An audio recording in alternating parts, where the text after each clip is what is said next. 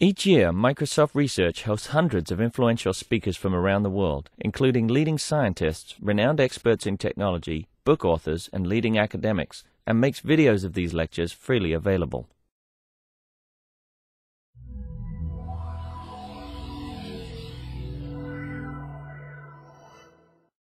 So um, this uh, this talk will be presented by the team from G2 Microsystem, and uh, John is the CEO, uh, founder CEO of the company, and uh, he's actually accompanied by uh, three very capable uh, people. Lisa.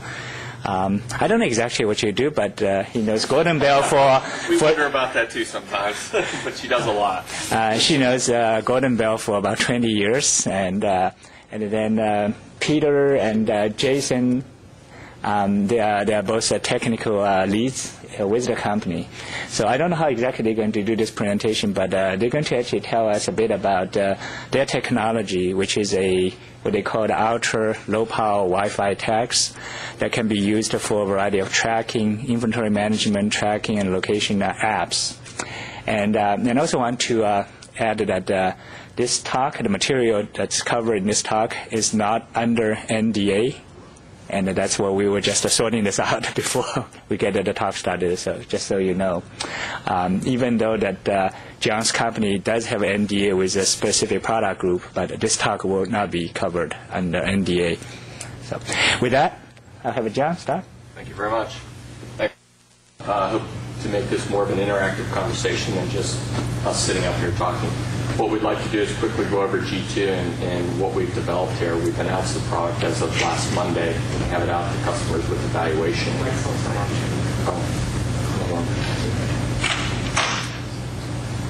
I'll start over then. oh, that's loud. So thank you all for coming. Appreciate you being here. We hope to make this an interactive conversation, uh, one which we're going to talk about the chip, and what we'd like to, you know, get feedback from you on is, you know, what applications what, what issues do you see? How does that compare to other technologies we're interested in? Because what we found is, is that we originally targeted a particular set of markets, and what we're finding is, is that the use that other people want to use this technology for, this product for, is way beyond what we originally anticipated.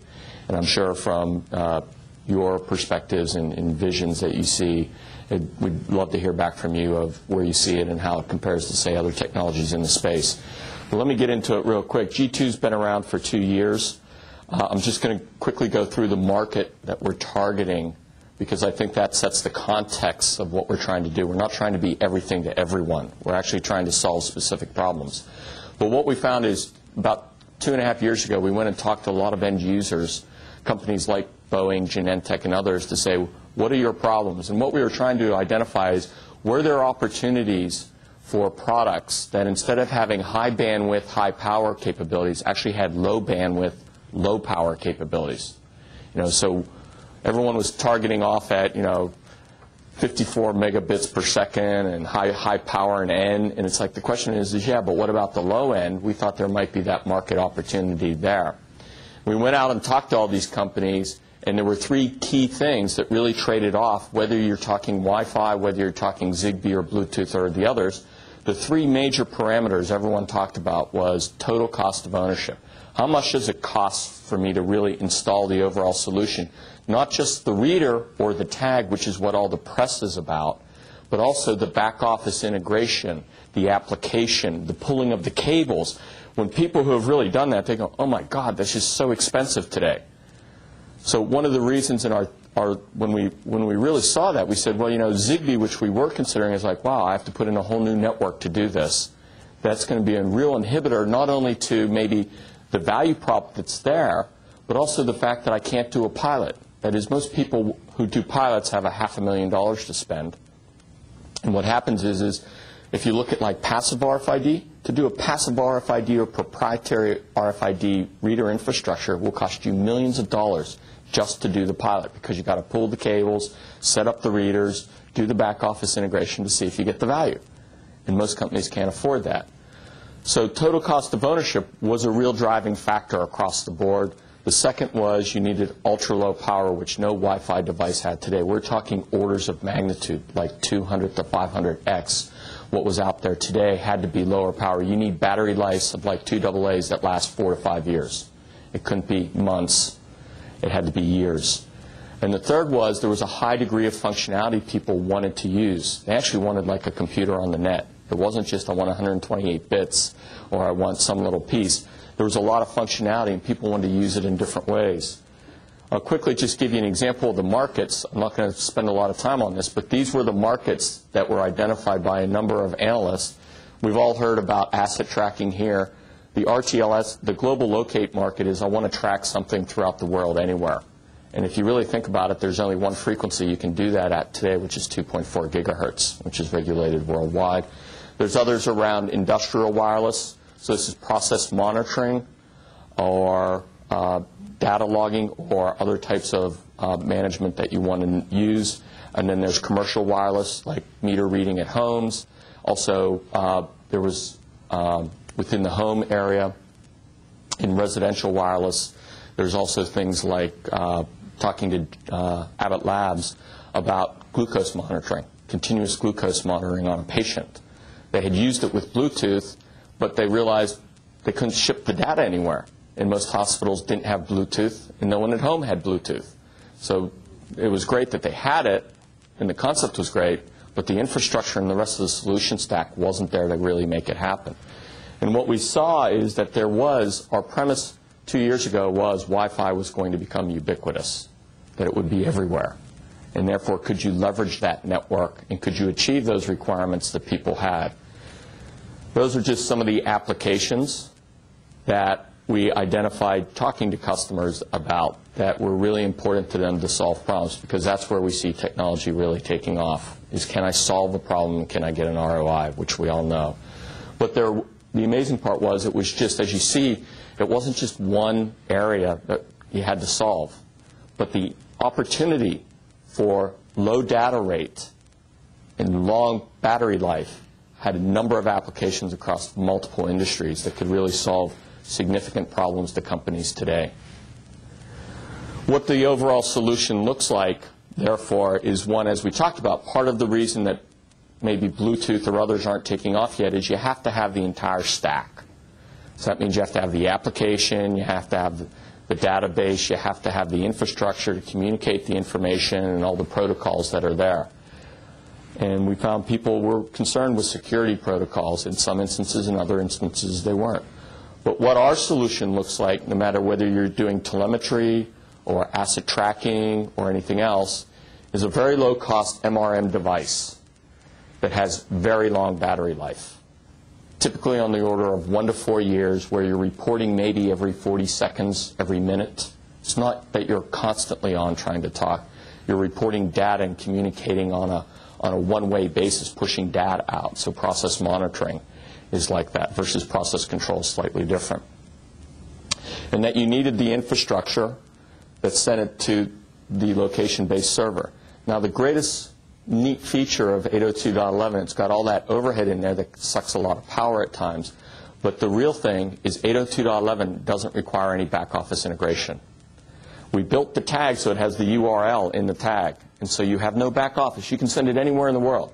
So you can have this facility here, and if your server's way over in China, once it gets the internet connection, it sends it over. There's no back office. And that's the real inhibitor to many applications today is, yeah, it goes here into this, but then I got to download into a batch somewhere in the world today. That's too time consuming and the data translation's too much. If you're able to use a URL and packet the data as an EDI format, XML format, or anything else, there's, it's completely transparent to the user in this facility. You don't require process change, and you don't require a whole bunch of data changes. So you're, I, I guess I'm a little confused. So it's, it's a HTTP server host, or it's a client that you get a DHCP address to connect to a server someplace? It's a client. So it's assuming a DHCP assignable address? We'll, we'll get into that if you just hold that off, and, and we can get into that a little bit more. But that's the overall stack, and that's what we put together for it. You can see it has an incredible amount of functionality on it, because in some cases you need that functionality, in a lot of cases you don't. What we find is people say, I want 802.11i, then when they start seeing how much it costs them in power and overhead, they sit there and quickly go to, well, I might just need some open authentication protocols. So it's really interesting, but you have to cover it all to really make it happen. The stack that we have, the very first market we went after was asset tracking within a facility, which was key, uh, really area. And part of the reason is, is the entire stack was there already. That is, there are software providers, there are location engine providers, there's the infrastructure that's already there, and then there's the actual tag itself and the chip.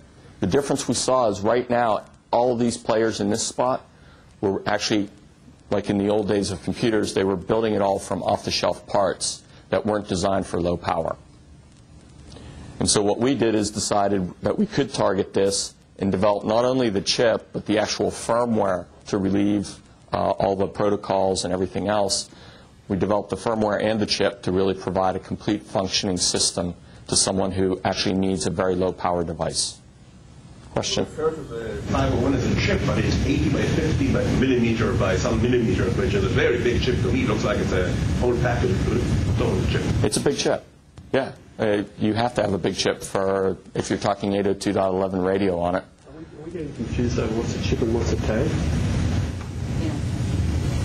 Uh, 80 50 millimeters was the. Oh, that's that's the tag itself. I'm sorry. So, so yes, uh, this back here is definitely not the chip. This is the tag, and that's all driven actually by battery. Uh, more than anything else, do you want to use a coin cell battery? Do you want to use a slim outline? This is a slim outline because one of the areas was personnel tracking. Uh, one of the classic examples is this is a research facility, right? As visitors come in, you might want to use passive to allow people in and out of exiting, but you actually want to track your visitors real time to make sure they're not going into certain zones of, of it and where they've been. And that would be a classic example. There's others though, around refineries and others that you want to track real time rather than just in a zone method. So I'll let Jason take over and really talk about the chip and what it does. Thanks very much, John. Uh, is that on? Is that on? Yep, good. Okay, so I actually work with the engineering team down in uh, Sydney. Um, and so I guess my background is. Um, Jason. Mic- the mic's not on? We can hear you though. There we go. Yeah. Is that better? Yeah, there we go. Thought I flicked it. So yeah, I um, work with the engineering team uh, down in Sydney, um, primarily uh, with the digital guys, although I've had a, a lot of um, exposure kind of right across the whole chip uh, and the development of the chip. And this is a really, really exciting chip to work with, I've got to say.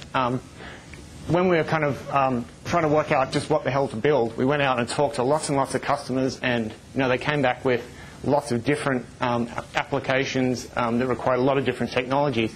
And we ummed and ahed and thought, well, you know, do we take this, do we take that? And, and kind of at the end of the day, we thought, look, let's just try and put as much as we possibly can in there um, with a, you know, a CPU to enable, you know, lots of different applications in lots of different markets. So uh, I'm just going to run, kind of run over the functionality that's in the chip. So um, off on the left-hand side over there, um, there is essentially a, a sensor interface for um, interfacing to lots of different sensors such as you know temperature, humidity, shock, uh, security seals, pressure, motion, um, and you know that, that's real-time sensing. Um, and so we have some signal processing that's monitoring um, these inputs, and you can set thresholds and whatever. You can wake the chip up and you know go and do whatever it needs to do um, once it you know hits those thresholds.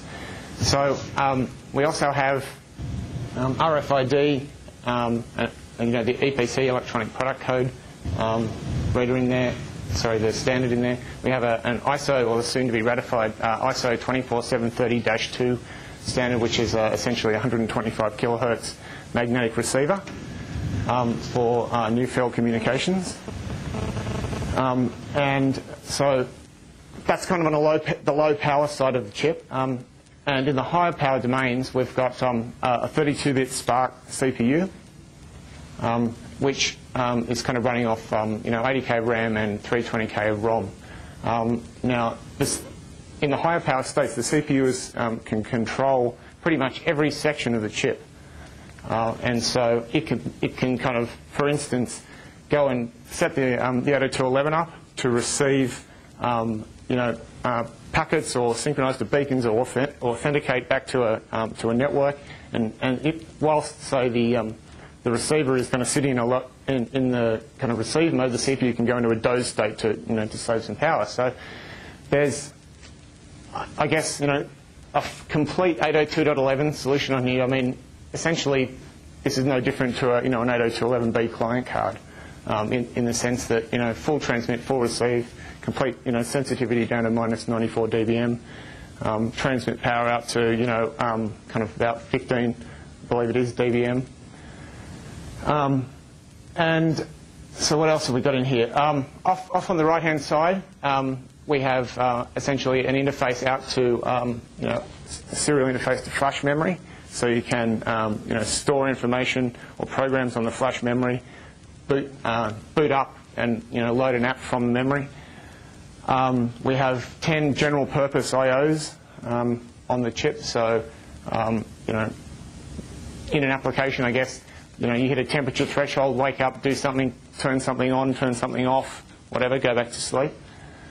Um, so there's, there's like there's so many different um, applications for um, for this kind of chip because you know with, with the, the, enabling technology in there uh, under CPU control, which can get right down, bury down into each of the little blocks. You know, I guess the um, what you do with it is really limited by your imagination, and so you know I guess one of the reasons we came here today was kind of to talk to you guys about you know, what do you possibly think, you know, we could do with this, um, with this kind of chip? And so, you know, we, we provide, um, I guess, a, a software platform that makes it very easy also to program. Um, so we're not kind of throwing you to the walls and saying, well, you know, go in and, and kind of bit bash registers, et cetera, et cetera. What we've kind of built a, you know, a complete um, API um, around, um, you know, all of the, the technology on here that that really makes it simple for customers to, to develop very quickly uh, applications um, you know, around the technology in the chip here. So, you know, for instance, one of the customers we've worked with can, uh, you know, kind of manage to, within about a week, uh, program you know, the chip to kind of do RSSI measurements and send the information back um, via you know, uh, association and authentication back to um, you know, a, a network and to their kind of proprietary software. So I guess the message here is there's so many, so many different kind of uh, bits of technology, and uh, what you do with it is, you know, is only limited by your imagination. So the CPU have what's the clock rate for that? 44 megahertz. 44 megahertz, 32 bit. Correct. Yeah, earlier you said that uh, you had the sensor interface where you can actually do some uh, signal processing. Yes. Is it a separate processor that does that, or does it actually run so the same CPU? There's um, there's some hard-coded um, signal process processing in um, in this part of the chip here for um, for things like uh, I guess it's shock and uh, what are the, what are the other things that we've got? Security, motion sensor. Security, motion sensor. Yeah. Yeah.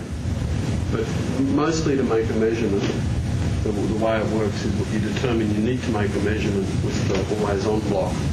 You wait, if you look, uh, you wait the, the um, 1v3 section, which actually contains the sample measurement unit, which is the A to Ds, which makes the measurements, and then you shut down again. If you're doing something like temperature, that's what you do. Well, where's the HDD? In the sample measurement unit here. Ah, okay. So the thing like, you know, if you're running it as a shock sensor, what happens is that you connect the, you know, the sensor elements up to, up to here, the device, when you drop it, it um, starts digitizing the acceleration values. Meanwhile, it wakes the CPU. The buffer is deep enough that it can get the CPU awake uh, before it misses any data. The CPU handles the data and it shuts down. So, so, so this uh, this always-on module on the leftmost is the one that actually does the sensing and the digitization. And Correct. We accept that the main module is necessary. Yeah. So the main main module programs you know thresholds and, and whatever, um, and you know sets up all the muxing so that you know what you're actually kind of sampling, because um, there's actually eight um, analog uh, sensor inputs off on, off on the side. Assuming that uh, this sensor could also sense radio, such that you can wake on the radio. Yes, yeah, particularly, particularly um, like EPC, so you can wake the tag up when it um, goes through an EPC reader that treats it in a certain way, that kind of thing. Question about the uh, two blocks, those the always on and the, yep. the middle block. You, down at the bottom, you're showing a uh, sample measurement unit in the not always on part. Yeah. I'm kind of confused about what it does and how it's distinguished from what's over on the left. Yeah, that's that's a good a good a good. I don't know about where to draw that. That's actually where it physically is. You can only measure something such as temperature, such as temperature with this awake. Measure this not awake. You can measure. You can monitor for acceleration. Start digitizing shock values. Um, do security seals. A motion detector. Detect readers and electromagnetic signals without waking that up. When you want to take something such as a temperature measurement, um, because of the um, uh, power architecture of the chip, then we can start to make that measurement very reliable. So basically, you have different classes of measurement. Different classes, yeah, that's Okay. good advice putting it. So, so, so basically, the leftmost one is the trigger type of sensing. Yes. Yeah, Whereas the triggers other one is the waveform sensing. Correct. So if I want to do FFT, presumably I can either send this out or have the CPU does that. And I don't know if the CPU is capable enough to do 3 FFT real time. Well, it's, uh, so, sorry, what data rate? For Um, well, it depends on what sensor Yeah. you're dealing with, say acoustic sensors.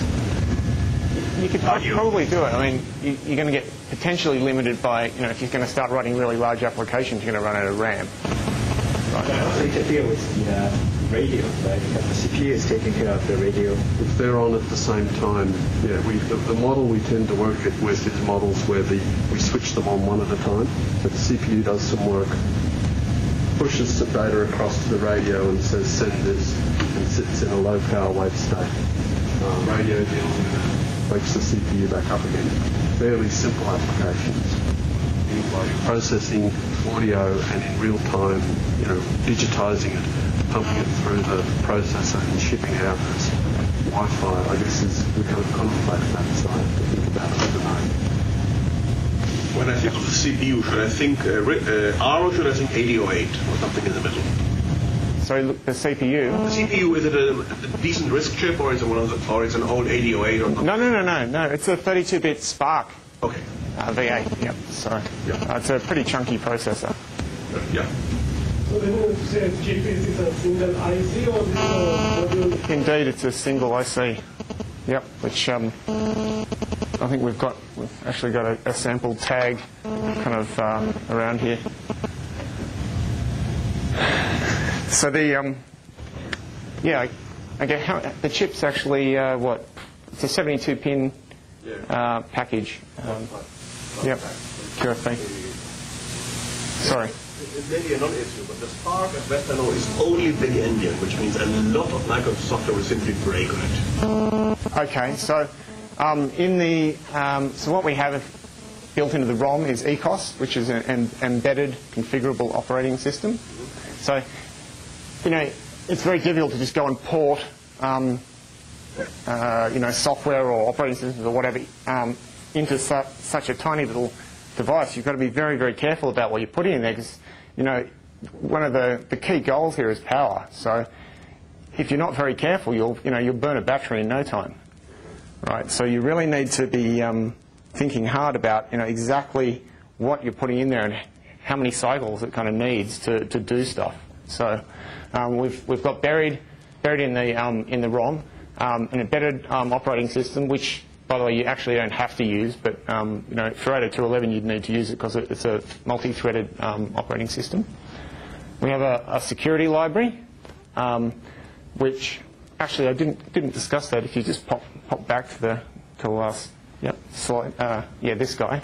So um, I'm not even sure that it's shown on there. Where's the crypto? There it is, cryptography accelerator. So that crypto accelerator um, is we have a, a hardware 128-bit AES, um, RC4, um, MD5, SHA1, and TKIP MIC. So TKIP, um, which is an 802.11 security. No, TKIP MIC. Actually, MIC is the, the actual message integrity check, um, and it's a it's a hardware um, yeah, check, uh, which is kind of post added to WEP, essentially to try and improve security. Uh, so you know, there's we've kind of built in, um, you know, all of this security um, uh, architecture to try and really kind of fit into the, you know, the 802.11 world. And, you know, how that's used is really up to the application developer.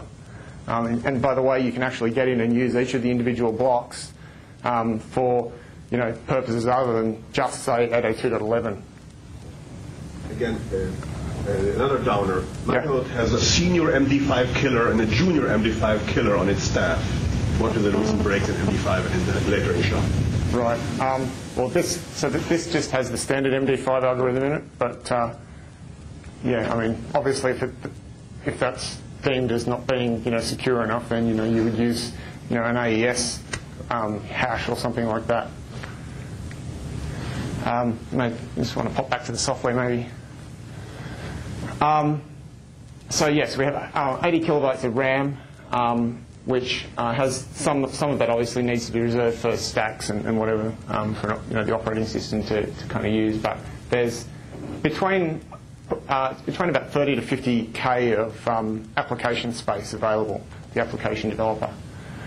Um, so you know we have the ability to load, you know, boot the operating system, load out um, an application from the flash into the into the chip, do some execution, and then you know if you're running out of space, you, you can write like a, a, little mini app, for instance, where you could then go go back out and pull in another app. So you know 802.11 full security is, is going to you know potentially chew lots and lots of um, space, but you don't need all of that functionality loaded you know at any one particular time. So you could, for instance, kind of load up um, the the part of the app that goes and kind of authenticates and et cetera, et cetera, and then you just don't need that stuff anymore because you're authenticated.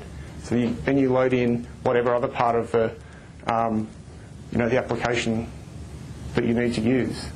Um, it, you know, if, if the RAM became um, a problem. But in, I think under general, general circumstances and for most of the applications that um, we're seeing, you don't, you know, it's, you're going to have trouble kind of running over the top of it. But it, you have to kind of change your thinking a little bit because you know, you don't have megabytes of memory here. You can't just write kind of bloatware. You've really got to be a bit careful about how you actually kind of, you know, design the, the apps.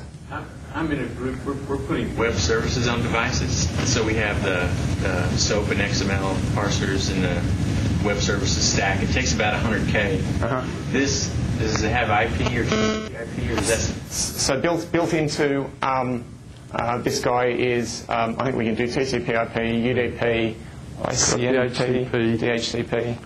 Um, I mean, the LWIP is a lightweight, lightweight IP. IP stack. Yep. So it's got all the basics. LWIP, lightweight IP. So if we wanted to put that other stuff on top, it might fit in the RAM, or if it didn't, you yep. have the three megabit, megabyte. Yeah. Yeah, that's right. Yeah. But again, you have to be have to be kind of always thinking how much battery is this using, how much of the power on the chip. You know, if I'm running stuff a lot, you know, and I've got this, the you know the center of the chip awake a lot, you're going to flatten your battery pretty quickly. So it's a bit of a shift in thinking. You know, don't just stay up, do everything you can do, and kind of hang around. You've got to, you really got to kind of sit down and plan your application um, to really suit, you know, the um, I guess the, you know, the real world application. You know. If you if you need to add memory, the three megabyte add-on, does that change the, the battery life dramatically? The, the flash, you mean? The serial flash? Well, no. No. No, it doesn't. No. No, if you added extra SPI devices, it wouldn't affect the uh, no, battery life they're, at all. they're powered up only when the, yeah. the CPU's powered up. Yep. Yeah, we're, yeah. So, you know, for 802.11, um, to, uh, to try and you know, use some of the power saving features of 802.11 is obviously something you would try to do. So, you know, we're supporting the power save poll nodes for 802.11, uh, where you, you know, you wake up, you authenticate, you tell the, the access point that, hey, I'm a power saving device, buffer pa packets for me, I'll check back in, you know, a minute's time or something like that, and then you go to sleep.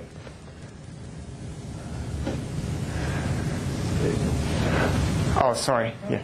Fundamental question that, that it's a very appealing device. In fact, this would the economy of this device makes it appealing for a mains powered sensor.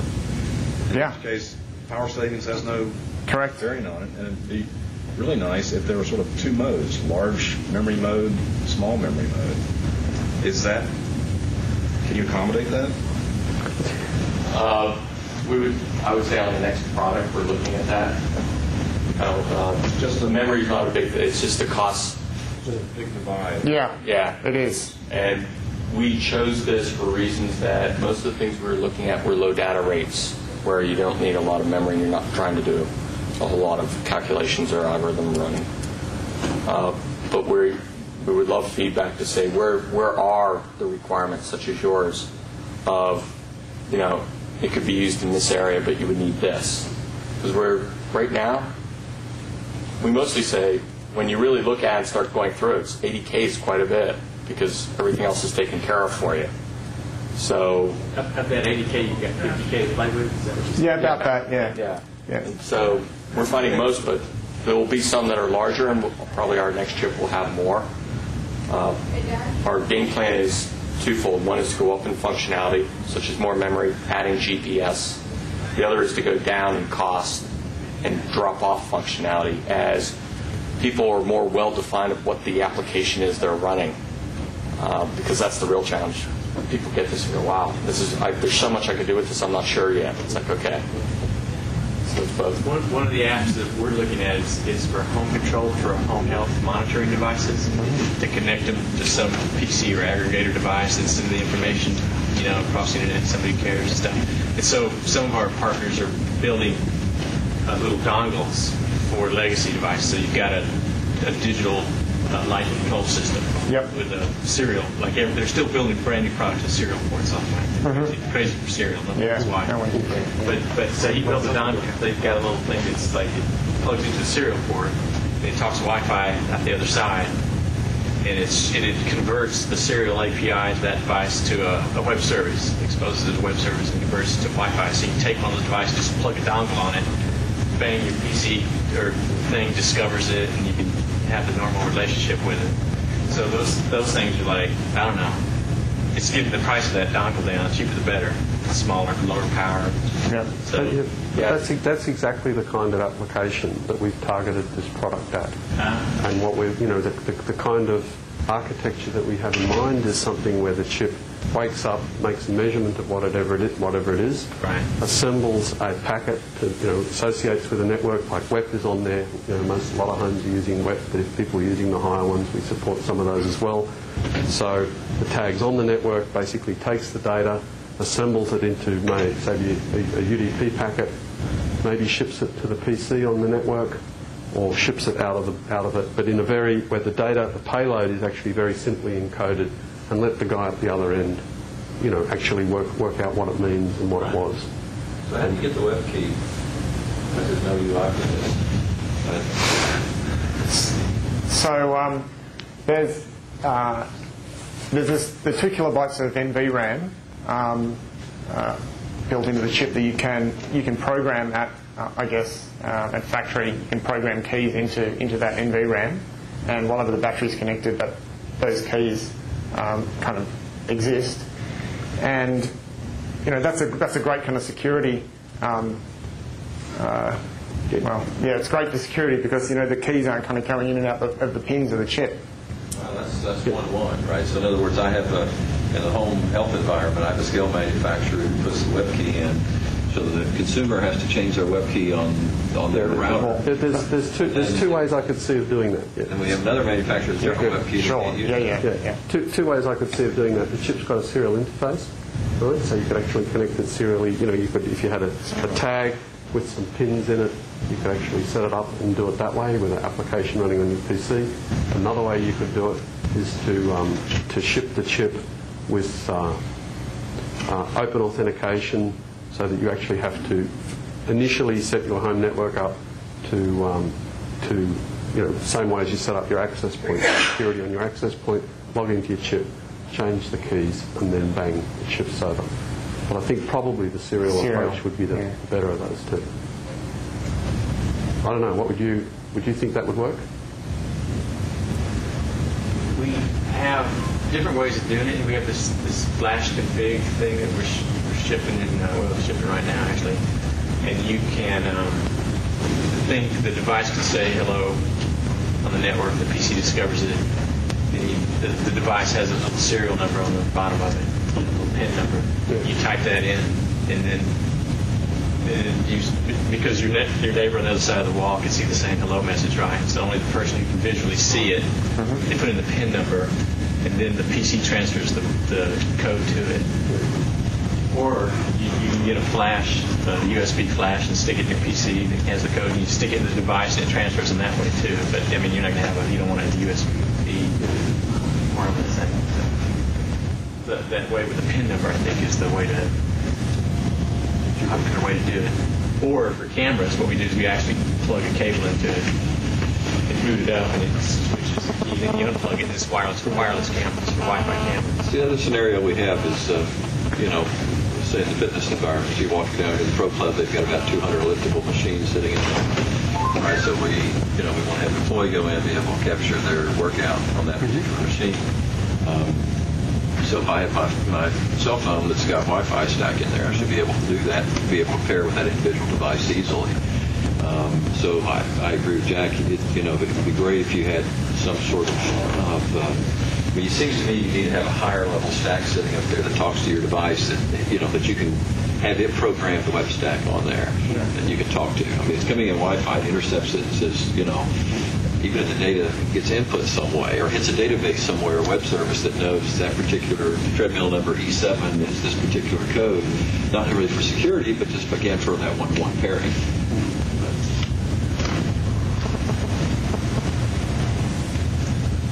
So are there any more kind of questions around the chip or? Is the ROM reprogrammable, say, to the JTAG? No, this, this ROM is um, kind of burned, burned into silicon. Yep. So, Our next generation will have a one-time programmable ROM on it. because someone want, may want to change the Sure. library and Yeah. Yeah, I think the challenge we have is just there's so many markets emerging when you start to get into this space. Uh, in some applications are going to fit. I mean, we really focused on power here, uh, not you know. Roughly, what's your cost on this? Is it under 100 bucks a unit? Uh, we're targeting tags, the MRM devices. We're not manufacturing, but other people are. Uh, you know, starting out right now, twenty dollars. Uh, we ultimately believe our roadmap can take us down to five. That's great. So. Tag you mean the, the little modules you pass around? Correct. Yeah, yeah. The battery. I mean, what drives it will become the battery cost and what There's you a market out choose. there today for Bluetooth, serial to Bluetooth is about 70 bucks. I guess you get it down to about 50 if you buy in volume and stuff, but it's still pretty expensive. Yeah. So those dongles we're working with are 30, 40 bucks. But that's Ethernet. To go with Wi-Fi, it's like one milliamp, I guess. Or, So we're, we'll be waiving for that then. right, right. This That's is great. The D. Yeah, I mean, what we're, we realize that. We're not trying to, I mean, we're coming out trying to be very aggressive on our pricing One amp. I don't know. because we think the markets will open up um, at $20. You said earlier when you opened this up, saying that you're actually trading the bandwidth, the data rate, with the battery, the battery life. Could you actually give us a sense of that trade-off? In other words, uh, what regime you're talking about, like the data rate, what the how it is, and is that way to adjust us depending on apps? I mean, I mean, you know, a lot of what I have to say, unfortunately, has been cut off. But I can just talk about that in general, sticking around things, pieces of information that are in the public domain. If you think about Zigbee, which is widely touted as a great thing for doing sensor networks, right? You're looking at transmit powers of the order of, you know, 50 milliwatts. That's at zero dBm, maybe 100 milliwatts, those kind of numbers. Right? 20, 30 at zero dBm. Right? It's just fairly short range at zero dBm. But if you look at, um, and it's running at 250 kilobits a second, right, in that, that kind of mode. So if you compare that with 802.11, you know, you can run an 802.11 um, at 11 megabits, and you know, in a transmit mode, you might be using a watt. So, so if you actually look at what's important, which is the energy per bit, and do the math, the 802.11 is lower.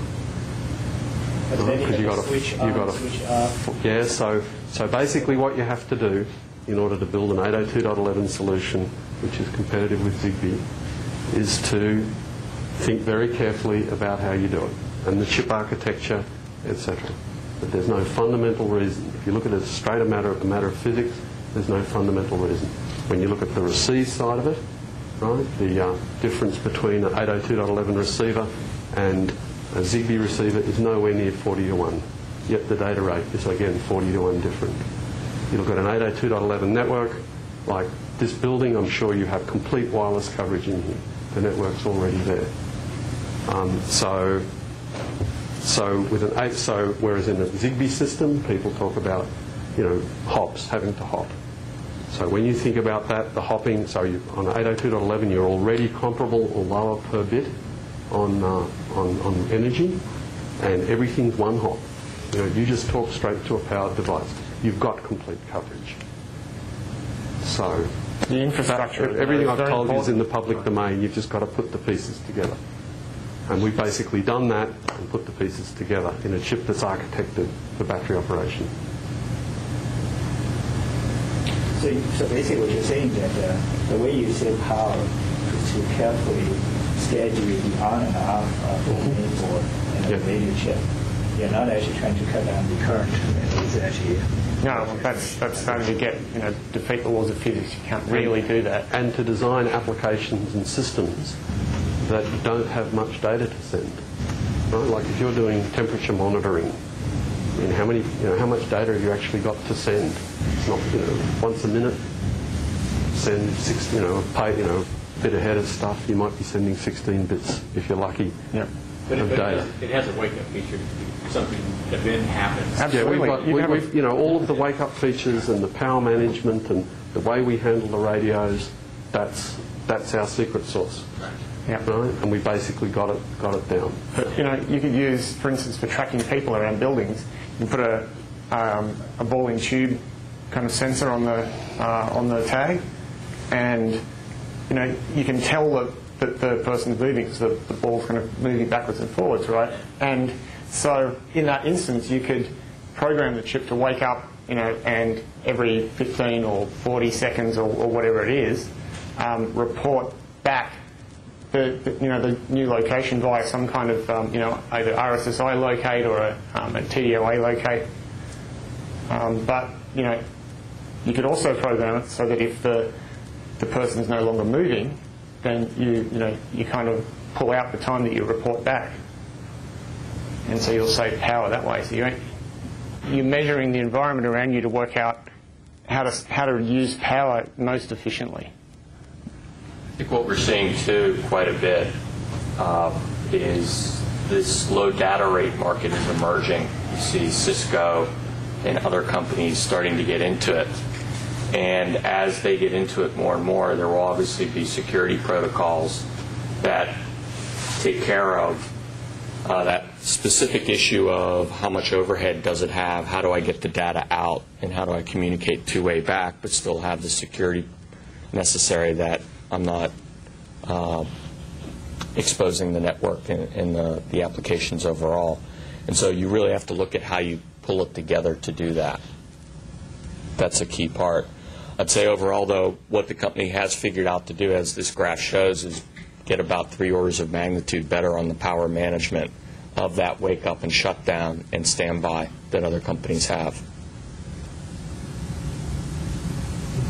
um, on slide when you showed the uh, application programming, software programming. So there's, a, there's only about 80 kilobyte of uh, application RAM. Um, what sort of application uh, do you expect people to write for this uh, in that constrained memory? Uh, did you have examples of things that the people you have written for, for a typical application that can fit there and, and also, what are the environment with which the developers can write code for this? Uh, Again, yeah, most of it is the application. We we absolutely talk to a lot of customers about what's the application and what do they need. I mean, we just didn't take a punt on 80. Uh, And most of it is, I think, just packaging up of the data and then sending it off. And so the applications are very small. There's some that have algorithms on it, some that have, you know, it's the packaging up into an EDI format or XML or some other type, and then sending it off. So it's mostly very simple types of applications because that's what you're wanting to do. Uh, You're not trying to put all the, the intelli, for low power, the intelligence is going to be in the infrastructure. It will not be in the tag.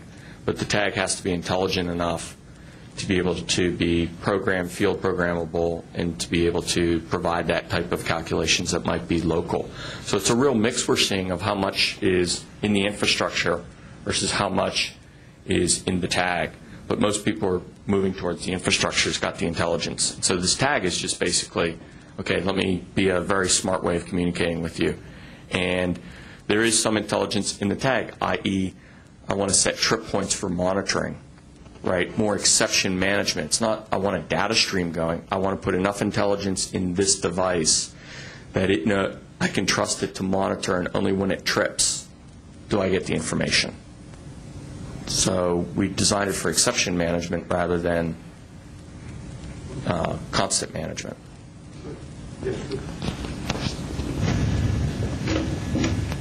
To speak more about the kind of application, if you, if sorry, I'm just going to just finish this question and we'll, we'll go there. To speak more about the kind of application, um, you know, if you think about tracking people within a facility or tracking goods within a facility, like high, you know, like high-value drugs, you're trying to monitor the temperature and then actually record the point at which they're used. The, let's think about tracking firstly. Um, there are, you know, Cisco has protocols around where if the you send just a couple of simple packets like probe requests, that kind of complexity packet, to an access point. The access point will measure the RSSI value of that. So with multiple access points, um, you can then get enough information to work out where someone is in a facility. So a typical application might be uh, like every 60 seconds, um, or every 15 seconds when you're moving, and every 60 seconds when you're not moving, the tag wakes up, sends out, say, three probe requests on three channels that are used in the network and shuts down. And then once every five minutes, the tag wakes up, takes a measurement, packages it in a very simple way, um, sends it off to the network, and to do that final thing, it's going to have to have authentication and association. So maybe it does that on a case-by-case basis. So it wakes up, you know, logs onto the network, does the key exchange, etc., okay, we're on, we can send this data, it's secure, shut down again. And that's the entire application. So it's a very simple sensing one, but one that's highly valuable. You know, if you've got $5,000 or $10,000 worth of drugs, they go out of temperature you don't know, you want to know when they got used, etc., you know, the cancer type drugs. So that, that's the kind of value proposition we've been looking at. And we see for, you know, building temperature monitoring, perfect.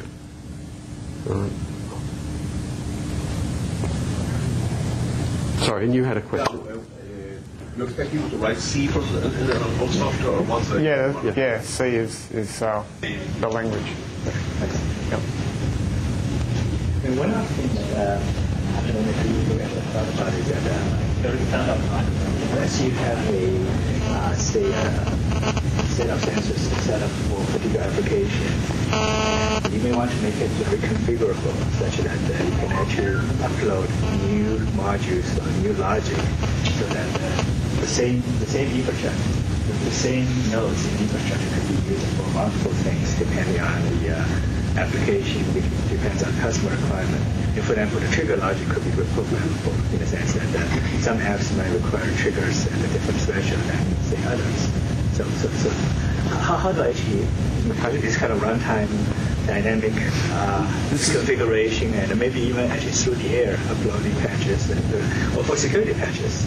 This has absolutely been considered in this architecture because we knew of one of um, the companies we're working with did a complete rollout of tags, active tags, through a deployment and then discovered that there was a bug in the code and they had to go around and find every tag, pull it back, connect it up to something and, uh, and reprogram it. Complete cow of a task. Um, so basically what we've got within the, buried deep in, in here is the code so that the because the tag is capable of, of authenticating onto a network, onto a secure network. It's capable of downloading code um, from, the, from the network and rewriting into the flash memory um, a complete new application, checking that that application is good, and then at a, um, there's even a mechanism in there so that if you want all the tags in a facility to do an update at the same time, then it actually timestamps the different uh, applications and swaps over when the clock goes to a certain point. You know, we've got TCP/IP there. In fact, um, more importantly than TCP/IP for this is um, protocol. Pardon? Protocol. Yeah, um, mental block. Um, no, anyway, And sorry. The important part is, is But that it's it- being considered within the architecture completely. It is programmable, and even those trip points are programmable. Uh, That's where the NVM memory that Jason talked about on chip stores various levels that you can use as trip points. You say you check this application is good. How, how good is that checking? Because it's an obvious weakness that bad guys try to take over your system. Uh, is it as strong as BSS? Uh, I think I'd have to mumble extremely loudly. So, um, from off the top of my head, I, I think I think the guys are um, doing uh, using MD5, but there's no reason why you wouldn't use uh, an AES, um, you know, You MD5 and is there a signature mechanism?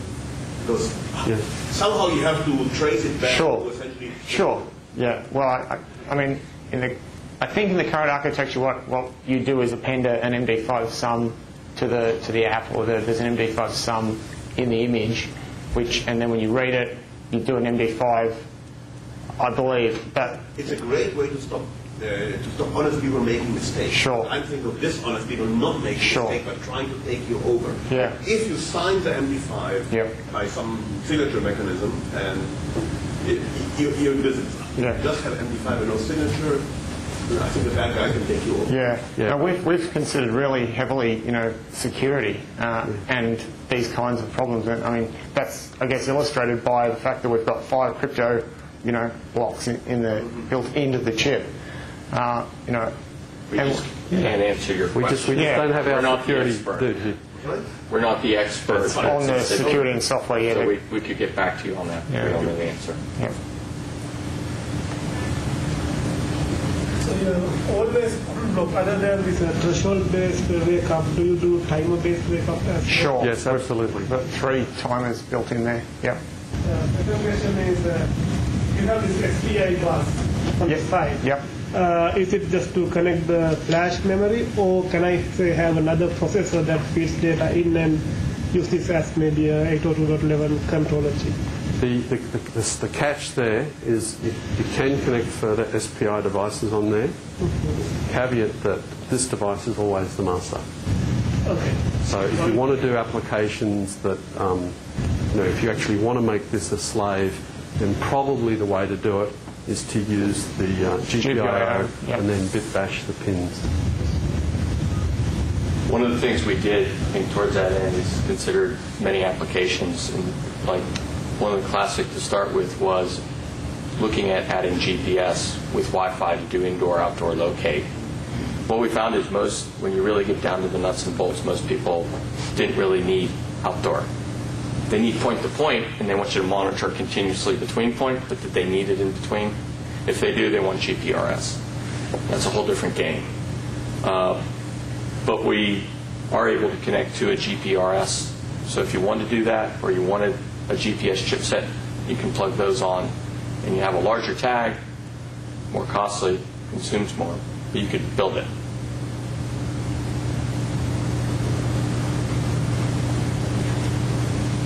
Any other questions? Great. So you say that um, your eCos uh, operating system is multi-threaded? Yes. So I was wondering uh, how does the, uh, from the programmer perspective, uh, how does the API looks if I want to make um, some CPU intensive operation, like for example, Ben was mentioning like FFTs or that kind of data. Because I imagine that even in a simple application, if you have to acquire lots of data, maybe not just there for sure, but something more complex, then there is a trade-off about what you can pre-process on the tag and uh, what you will transmit uh, over the Airlink. Uh, So I mean, uh, either you spend uh, more time here or you spend more time there. So maybe you want to do some processing. And if I want to do some processing which is not uh, to shell of, which has some, you know, some substance to it, uh, how does the programmer's API look? What, what kind of services can I leverage to make my life simple? And uh, how do I, from the, in the application, how do I uh, say to the processor, okay, I'm finished, go to sleep, uh, or wake up uh, in five milliseconds and do this other calculation? So that kind of stuff, there's an API around. You just you're calling functions, you know, power down, and you give it a time, or power down now, or a, so the complete API kind of wrapped around, um, uh, you know, shutting down and, and kind of waking up, I guess. Um, you're right. It's going to be a trade-off with how much processing you do on the tag, and how much you kind of um, how much data you push push out um, back to the network or back to uh, you know an application sitting on the net off the network. Um, I, I, I think we, you know, we actually haven't explored this much, this kind of problem, because we've, you know, everything we've done to date, I mean, the, the thought of running our tag off a powered source is, or our chip rather, is something that we just haven't actually, which is the, you know, if you're actually in that kind of situation, that's what you're going to be talking, I would have thought, because a battery is not going to hold it up long. We have put very little time into that at all, in fact, none. Yeah, Sound- sounding like that, that could be something that's certainly be worth following up, right? worth f- following up, yeah. I was also thinking about the scenarios like, for example, on the left side we have the, the triggering, the triggering sensors that wake up the CPU. So basically, they are. I mean, I suppose that you could see them at a higher level, like uh, tasks that will go off uh, of, timers at some time. And uh, since uh, you have a multi-threaded OS, uh, that could possibly conflict. Um, okay. That, does the application programmer needs to think about the synchronization timing-wise? Yeah, absolutely, yeah. Okay. Yeah. There is no facility, automatic facility in the system to have a s- high-level. No, no, I, I believe that that's that's something that you know you would have to specifically sit down and think about everything that's happening and, and really kind of map out the application. Yeah. Yeah, 'cause, I mean, the situation of dropping it, you know, if you look, think about the shock sensors, right? Um, the, the situation of dropping a tag while it's transmitting is something that I'm actually, you know, I'm not sure what happens, but usually that would be a comparatively rare event. And so if you did, didn't quite get it Well, right, then maybe... Okay, so the it's event event queue driven. So events are generated and kind of put in a queue, um, and then exactly how that's kind of uh, how the queue service in a multi-threaded application is something that you know I don't understand because that's not an area of the chip that I've worked particularly on. But uh, you know, we've we've definitely thought about that. You know, and I could get you further details if, if that was um, something that we need to follow up. Thank you. Well, I think that concludes our uh, presentation. If, um, happy to stick around and give you more uh, overview if you have specific questions. Uh, But uh, very much appreciate you coming in, asking questions, and taking an interest. Thanks Thank for your you. time. Yeah.